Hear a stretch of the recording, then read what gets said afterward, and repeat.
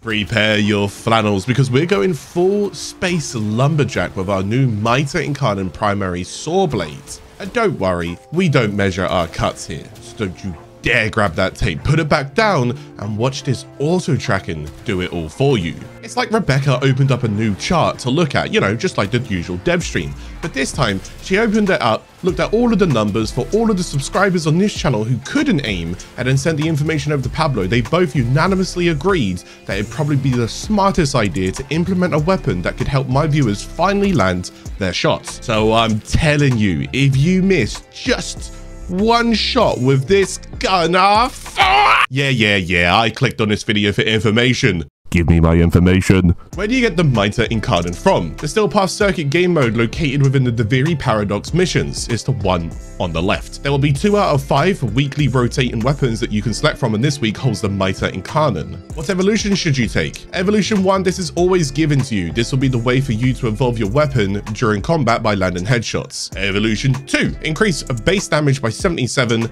and with a Warframe channeled ability active, increase the fire rate by 70%. Or increase increase damage by 57, but multi-shot consumes ammo directly from the weapon's remaining capacity, then increases the damage by 20%. So I had to play around with both of these options, and I had initially thought that the multi-shot would be a bonus overall to the weapon damage output. However, because it consumes ammo on top of that for all of the multi-shot you have applied, it really just didn't feel worth it, especially when you transform the weapon to its incarnon state. It has around about 20 shots, and you can burn through those shots in sometimes less than 10 shots. But here's the kicker. The damage between the two didn't actually feel that different for most enemies you would genuinely face within the steel path. So to put this simply, I went with the first option for the base damage increase and solely for that alone. I prefer to go and save my ammo economy as I want to go and use this weapon during its incarnon evolution state more. Evolution 3. 50% increased projectile speeds. Reloading whilst empty gives you a 100% bonus to reload speeds, or increase your ammo capacity by an extra 160. So the first option is good because overall this is a projectile weapon and when evolved, it shoots and arcs slower than normal, so I automatically just lock this one in. The second option requires an empty magazine, and if you're a compulsive reloader, I wouldn't advise this route. And the third option doesn't actually affect the incarnon evolved state, so you would choose this outside of the incarnon state for ammo economy. Lastly, evolution 4. Hold your charge shot for one extra second to increase the size of the AoE, increase the base critical chance by an additive 22%, or increase both your critical and status chances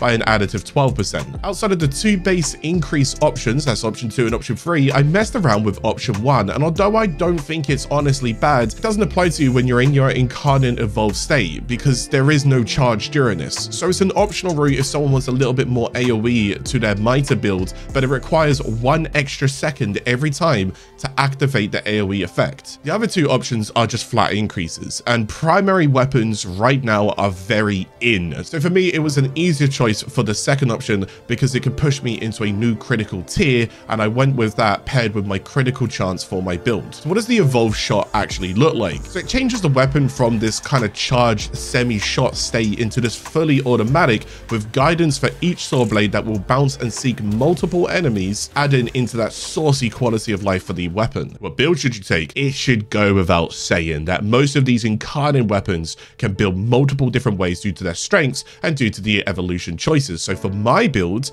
I decided to do the unthinkable. I created something out of nothing. I jumped the border, I danced with the elves, and I literally just slapped Hunter Munitions onto my weapon. Damage mods, because without them, you're basically healing enemies at that point. Multi-shot mods, you want to play a game? Why shoot out one saw when you can shoot out an entire franchise of saws? Critical mods, because blunt things don't slash, so we need to go make them sharp enough to cut through not just the enemy, but enough to dice them up so the entire family tree doesn't recognize them. Then, we carve off their faces and attach them to our helmets, blending into the enemy's backline as we infiltrate. Hunter Munitions needs criticals, gets buffed from viral status chance, dips with faction mods and scales throughout most content. Elemental mods, viral status chance is the meta we are currently in. This makes enemies' health weaker and hurt more when ticks like slash are applied, so we took it. Faction mods, multiplicative damage and a two for one bargain. Deals on every slash tick. Shop now and don't miss this sale. Neutralize injustice. Obviously, we cannot forget that this weapon has a specific mod going for it in which it can cause nullifier crewmen